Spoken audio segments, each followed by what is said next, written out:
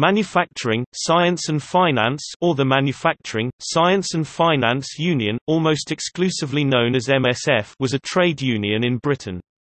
Over 80 members of parliament primarily members of the Labour Party were members.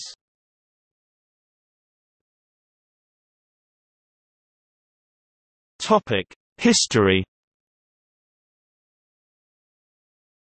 The MSF was the result of a merger in January 1988 between the Association of Scientific, Technical and Managerial Staffs and the Technical, Administrative and Supervisory Section TASS. In 1991, it had 604,000 members, but this fell to 446,000 in 1996, the most rapid decline of any major British union. In 2001, the MSF merged with the Amalgamated Engineering and Electrical Union to form Amicus. The General Secretary of MSF from 1992 until the merger with Amicus was Roger Lyons, who continued as Joint General Secretary of Amicus's MSF section. In 2007 Amicus merged with the TGWU to form Unite.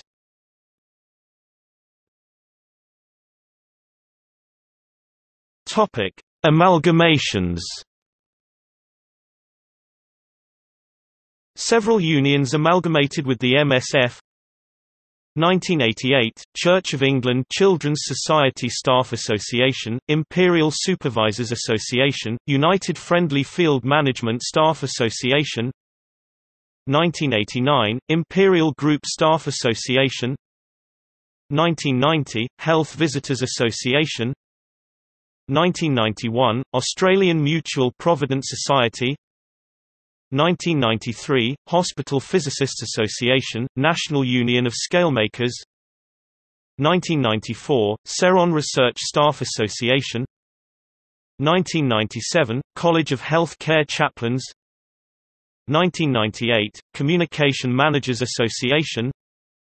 1999, Britannic Supervisory Union, Corporation of London Staff Association, National Union of Insurance Workers, Nielsen Staff Association 2000, Lloyd's Registry Staff Association, Union of Textile Workers 2001, Leicester Housing Association Staff Association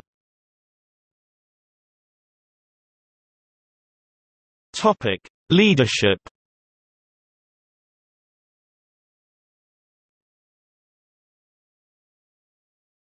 Topic: General Secretaries. 1988, Clive Jenkins and Ken Gill. 1988, Ken Gill. 1992, Roger Lyons.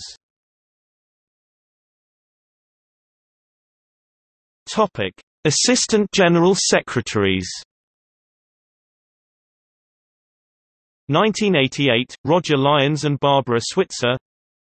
1992, John Chowcat and Barbara Switzer 1997, John Chowcat 1999,